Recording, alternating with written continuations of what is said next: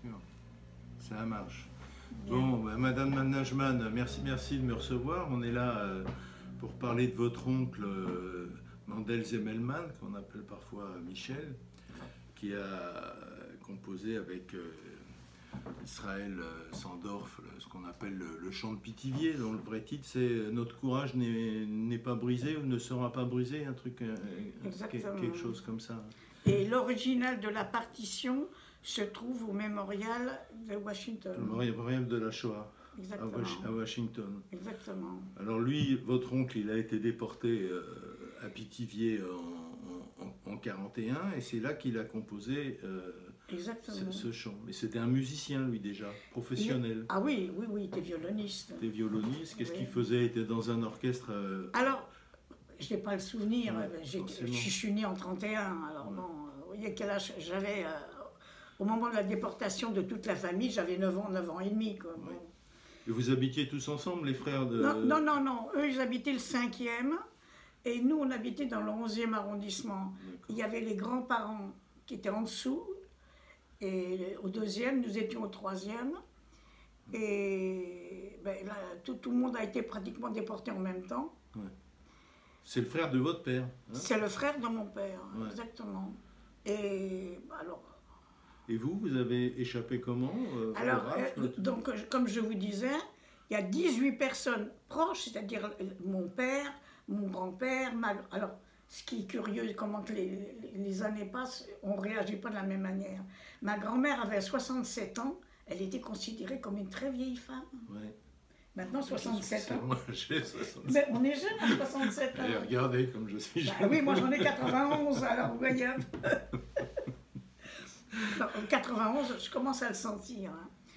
Bien, alors tout le monde a été déporté et ma mère a décidé euh, de se coucher et d'être malade.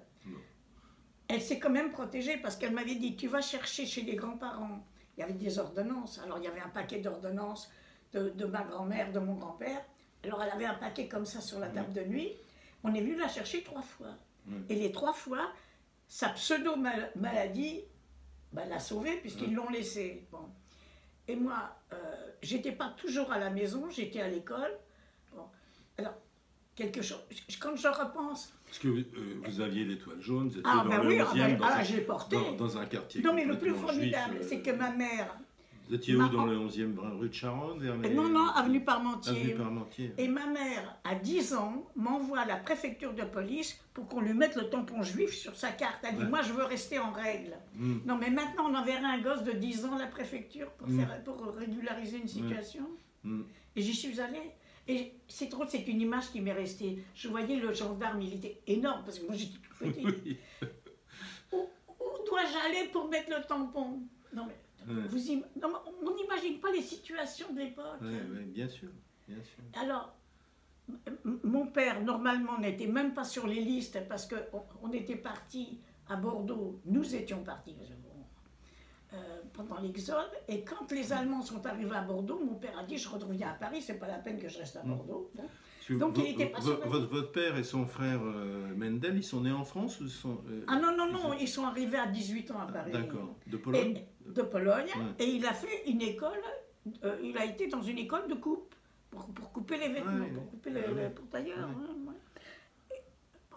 ils arrivaient en France, quoique, ils ils ne parlaient pas le français réellement, parce qu'il y a un frère de ma mère qui est arrivé en France, et il, il a eu un emploi tout de suite à la banque parce qu'il parlait français. Les autres, ils parlaient yiddish un peu. Ah bah, il euh, parlait, bah, mélange de bah, bah, ruiné, bon, Ouais. Enfin, il, il- il s'installait, il ne travaillait. Ce qui est ça qui est extraordinaire, c'est que il n'avait pas l'esprit euh, ouvrier, puisqu'il s'installait à leur compte tout de suite. Oui, oui, C'est ça oui, qui est oui, extraordinaire. des- Mon grand-père était maroquinier, mais à la maison. On Mm. travaillait à la maison, on fabriquait, on vendait. Et mon père travaillait à la maison, il faisait des smokings, il était spécialisé Mm. des smokings. Bon. Bon, euh, chacun. cho- Non, mais c'est ça, je, je repense. Parce que Oui, il y avait à la on- n'arrête pas de de- parler de l'immigration maintenant, on en, on en parle. Mais c'est pas le même état d'esprit. Parce que d'abord, il n'y avait pas d'aide. Non. Euh, Si vous ne travailliez pas, euh, ben, il n'y Ouais. avait, pas, euh, il y avait pas de frigo déjà. Bon. Enfin, même s'il y aurait eu un frigo, il aurait été vide. non, mais, mais Ouais. C'est vrai, bien sûr. J'imagine pas. Alors, Men- Men- Mendel, votre oncle, Mendel Zemmelmann, comment il, il devient violoniste à Paris, lui? Ben, je- ça, je sais Ça, pas. vous savez pas. Bah, il a été au conservatoire, il a eu un prix de conservatoire. En Pologne? En France En France. En France, c'est en France. D'accord. Ouais. Et donc, il joue dans des orchestres hein, il est- Je sais pas. Franchement, euh, alors là, euh, ma mère euh, bon, se retrouvait à 29 ans, Hmm. sans son mari, sans ses frères, sans ses sœurs, sans son père, sans son... C'était un choc aussi. Bon. Psychiquement, ça jouait. hein. Hmm. bien sûr. Surtout Et moi, je suis devenue adulte à 10 ans. Non. Bah oui, puisqu'il Bah fallait oui. que je fasse tout. Aller à la préfecture, faire, faire tout, quoi. Tout. ouais, M'occuper du reste. quoi. Et euh, Israël Zendorf, avec le- qui il a, Ah, il moi, a je fait le chant des-. C'était un, un des Ah, moi- amis. ah, ils mais moi, je connus connais pas du tout. Ah, Non, non, Je, n'ai aucune connaissance. J'étais trop petite pour. euh, je, voyais la famille. J'ai un souvenir de son épouse. Qui, c'est, drôle, il y a des images enfantines qui restent. Elle m'avait apporté une mandarine en bonbons. Ouais. Et c'était, pour moi, c'était extraordinaire. À l'époque, hein, j'avais quoi J'avais 6 ans. Ouais. C'est la seule image qui me soit restée d'elle. Alors comment ce chant, parce qu'il a été déporté en, en, en, en 41 à, à- à Pithiviers, là au printemps, euh, il, il- il part à, à Auschwitz en, en, en 42 ou Alors, alors, alors Google, Non ça, ça, j'ai appris. Google, euh, enfin, Ouais. il y a un papier euh, en allemand où il est mort d'une crise cardiaque. Non mais attends. Ouais. Ouais, il avait... Ben oui, parce que les, chambres à gaz n'ont pas existé. Ben, bien sûr, que- bien, ben non, c'était pour enlever les poux. Écoutez, il y a quand même quelque Mais chose. alors comment il est arrivé jusqu'à vous et jusqu'à nous, ce, ce chant de Pithiviers, Eh ben, euh, ce chant de courage Moi, je l'ai su sont- par le mémorial de, de, de, de la Shoah de la Shoah. D'accord, c'est pas transmis par la famille, Non, vous parce que l'avez quand- eu par l'extérieur. Parce qu'à un moment donné, ils ont demandé à toutes les familles qui étaient encore en vie de venir apporter des documents. Et j'avais des cartes postales que ma mère avait reçues de mon père quand il était à Drancy. Donc je me suis dit, si ça peut servir à l'histoire, bon, je les ai apportées. Donc ils ont fait des photocopies D'accord. des cartes postales que ma mère avait reçues de son mari. Bon, c'est tout. Mm. Et alors, euh, bon, ben, j'ai raconté ce que je savais. euh, bon, euh, tout, ouais. euh, je savais pas grand-chose. Ah oui. Non, mais c'est important. C'est ce qui est, ce qui ce qui fascinant dans les recherches qu'on Ce fait. qui est surtout hein, fascinant, c'est c'est Klarsfeld. Mm. Parce que de, de répertorier. C'est mon mari qui m'avait apporté tout le grand livre où, Oui. où j'ai souligné les 18 noms. Hmm, Et c'est à partir de là, parce qu'il a fait un travail colossal, on n'imagine pas ce que ça représente. Il fallait aller les chercher, les noms et tout. bah, Euh, bien sûr, ouais. bien sûr. Bon, J'ai toute une bibliothèque hein, de, de ce, ce truc-là. J'avais un livre sur le camp de Pithiviers, et quand vous m'avez téléphoné, je l'ai recherché. Bon, j'ai tellement de livres. Bon, je ne sais pas, je sais pas où il est. Je sais pas où il est. Il y avait Beaune-la-Romaine aussi, qui est un peu dans le. Un camp qui était aussi dans le Loiret, dans- Ouais. quelque part par là. ouais, la chose. Bon, bon, bon. Et, euh, et alors, euh, bon, lui, il, il est décédé là-bas. euh, Ah ben toute la famille. toute Les la gosses, famille tout ça, c'est bon, ben, c'est les enfants. Et vous, vous avez passé toute la guerre à Paris À Paris, êtes- mais, Ah à- oui mais c'est ça- que je voulais dire, qui est extraordinaire, c'est que mon père, voyant dans la rue, parce qu'il y avait un commissariat au, au bout de la- du passage Belay, et voyant, il y avait toute la masse des juifs qu'on ramassait comme ça, mais il n'y avait pas encore l'étoile.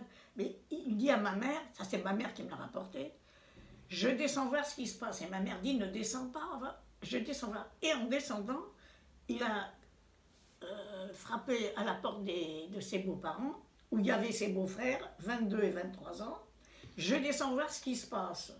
Ils sont descendus tous les trois. Une fois arrivés dans la rue, ils se sont rendus compte de ce qui se passait, ils ont vu les gendarmes, ils ont rebroussé chemin. Les gendarmes les ont poursuivis et arrivés devant la porte, la concierge a dit oui, oui, euh, ils sont à, ce- à ce- à cet étage. Donc, non, mais c'est ça qui est extraordinaire. Elle les a dénoncés, elle a dénoncé mes, mes- mes grands-parents, et pourquoi qu'elle ne nous a pas dénoncés? C'est pour ça que je dis un destin. Ah, quoi, on va dire. Pendant toute la guerre, euh, bon, voilà. Je suis là, avec mon, mon étoile. Ma mère ne l'a pas portée, puisqu'elle est, elle est restée elle est couchée. Elle est restée couchée pendant toute la guerre.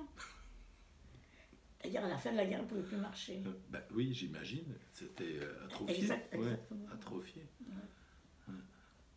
Bon, mais c'est un destin, c'est comme ça. bon. Et vous l'avez déjà entendu jouer ou chanter Jamais. ce chant? Mais non, jamais. on, on va Alors, justement, je voulais vous en parler. Certainement, ce genre de choses, il doit y avoir des concerts. Alors je vais en parler à, à, à Monsieur Roten, qui est le directeur de l'Institut européen des musiques juives, là que j'ai rencontré la, la semaine dernière. Ils ont pas mal d'enregistrements. Je vais lui demander s'ils ont ça. Parce que j'ai eu une autre visite, Oui. dans le genre de la vôtre, mais un monsieur, un particulier, il ne faisait pas partie d'une organisation, qui est venu me poser les mêmes questions que vous. Et à l'époque, j'avais, j'avais pas encore ce papier-là.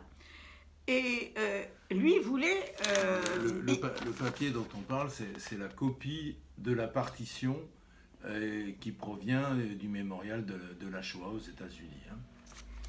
Et, et lui devait le faire enregistrer. Et il m'avait dit quand il y aura le CD, je vous l'enverrai. Je n'ai plus jamais. Alors, je n'avais pas son adresse, je ne savais pas qui c'était. Je n'ai plus jamais entendu parler de lui. Bon, Il y a, il y a 3 ou 4 ans, je me souviens plus. Écoutez, on doit pouvoir l'enregistrer. Si ça n'existe pas, ça n'a pas l'air bien compliqué à. Non, mais faire. certainement, ça a, été, ça a dû être joué, mais Oui. en particulier chez des. Ou, ou des petits concerts, je ne sais Oui, pas. oui. À moins que vous pourriez demander à la, euh, au- à la Shoah, là, là, au mémorial, peut-être que eux ils ont donné des concerts, parce qu'ils donnent des concerts. Oui, oui, Et Peut-être que ça a été joué. Et peut-être. qu'ils ont, ils ont un enregistrement que vous pourriez récupérer. Bah, écoutez, euh, moi ce que je vous dis, c'est que je vais chercher hein, euh, au mémorial et puis euh, à l'Institut européen des musiques juives, là où je- ils ont des archives absolument fabuleuses. Et puis si on trouve rien d'enregistré, eh ben, on l'enregistrera avec Francesco Lotoro, le Oui. président de la fondation.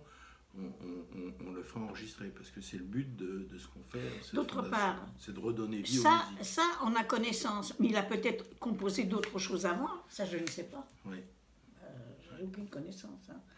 Et, et pensez que s'il a composé, les appartements étaient pillés, euh, enfin bon, euh, ou je- ce genre de choses, les gens qui connaissaient rien à la musique, ils le jetaient. hein. Ben oui, bien sûr. Bon, bah écoutez.